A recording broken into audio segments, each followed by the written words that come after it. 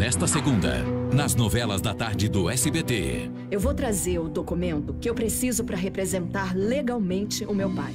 Ela continua insistindo que é filha do Alessandro e que vai provar para todo mundo.